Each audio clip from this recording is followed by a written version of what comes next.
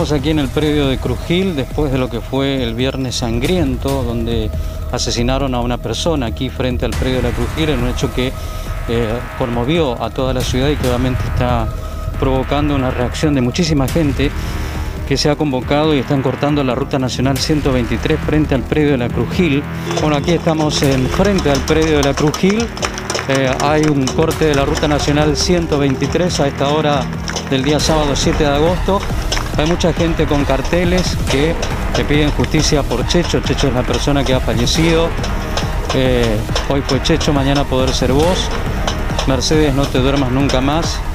No más mafia, dice eh, otro de los carteles. Y bueno, eh, está la gente aquí haciéndose sentir y reclamando por esta terrible situación que se ha vivido aquí en el predio de la Cruz Gil.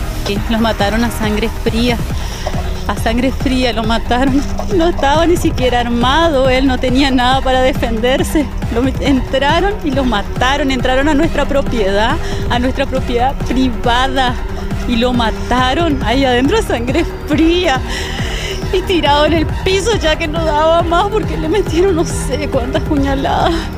Entraron un montón, un montón. Tengo grabaciones tal con el fiscal, no les puedo pasar a ustedes por ahora, pero más adelante le voy a pasar. Eran un montón los que entraron. ¿Y por qué pasó esto? ¿Qué, ¿Qué, había pasado? Porque él se fue a reclamar que le saquen esos puestos. Ya, si ustedes ven, miren lo que esa mugre no estaban haciendo enfrente de nuestra propiedad. Se ha descompuesto Jessica, entendible la situación. Terrible testimonio de, de Jessica que se ha descompuesto por su esposo.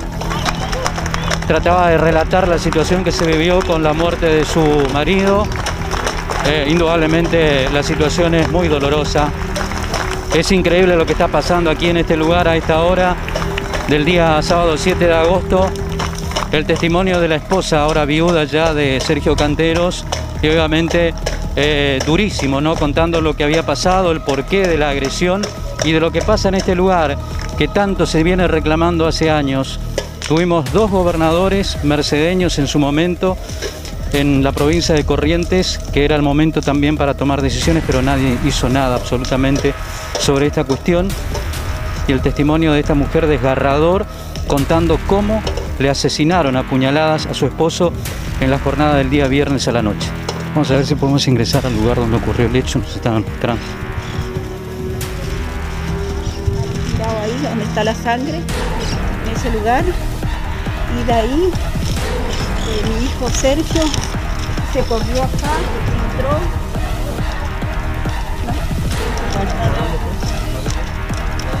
Allá. A ver si podemos tomar acá aquí que el pasillo este de acá de afuera, sin ingresar. Este ahí, dice, en el fondo, dice, aquí fue el lugar donde ocurrió el crimen de, de, Cantero. Bueno, este es este. Dice que podemos entrar de para atrás si entra. Aquí qué es eh, qué funciona. Acá en la casa de mi hijo, el comedor de, de mi nuera, que ella trabaja acá de, de, lunes a viernes o sábado también. Acá una casa de comida. ¿Estaban aquí en este lugar? Sí, acá, en este lugar, con los chicos. Y el chico estaba mirando acá por la ventana de lo que estaba pasando terrible situación. Sí. Y acá le echaron a mi marido en ese lugar, le patearon, yo le llegué y le dije que le dejen. La, la camioneta estaba, la camioneta estaba así como esa, y ahí le, le hincaban contra la camioneta, le encajaban con el cuchillo. Bueno, ahí está la, la esposa.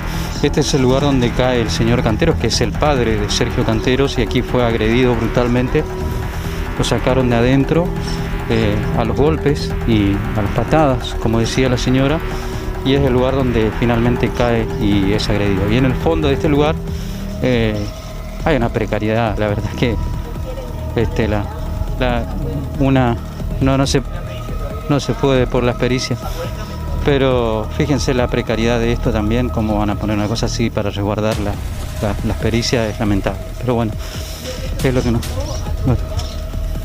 Nos dicen aquí que el tejido este fue tirado abajo por los agresores, que esto es cerrado, digamos, el lugar, y este es la evidencia que queda de cómo la violencia que utilizaron para tirar abajo el tejido, los postes, seguramente ya eh, en una situación de total violencia y ingresar al interior del lugar para cometer este terrible crimen que realmente está conmoviendo a la ciudad de Mercedes que sucedió este viernes aquí en frente del predio de la Cruz Gil.